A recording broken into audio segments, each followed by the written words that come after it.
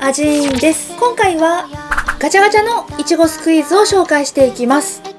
昨日は UFO キャッチャーのいちごスクイーズだったんですが、今回はガチャガチャです。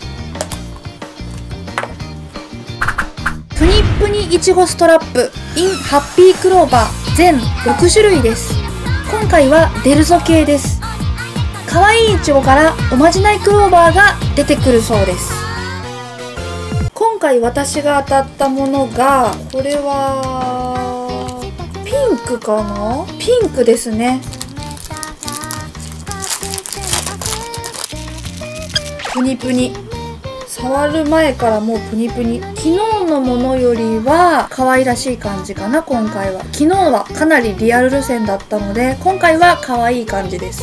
えー、すごいもうプニプニしてます。プニプニ。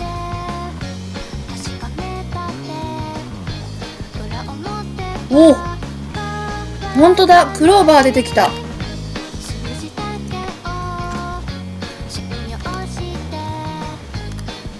このピンクのおまじないなんですがえー、っととっても可愛くなっちゃうかもって書いてある。キュートって書いてある。とっても可愛くなっちゃうかも。ありがたい。可愛くか可愛くなれますように。えー、すごい。こういう風になってるんだ。1枚なんか膜みたいのがあるんですよね。はい。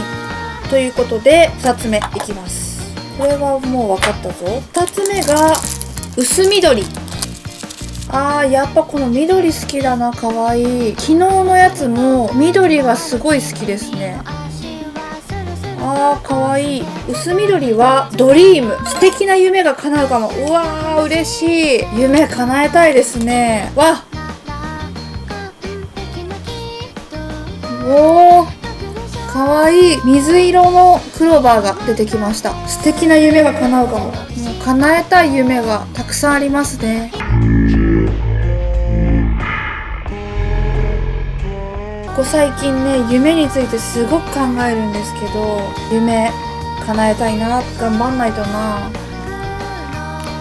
夢叶えたいな頑張んないとな。本日もご視聴ありがとうございました。この動画が良かったらグッドボタンとチャンネル登録ぜひよろしくお願いいたします。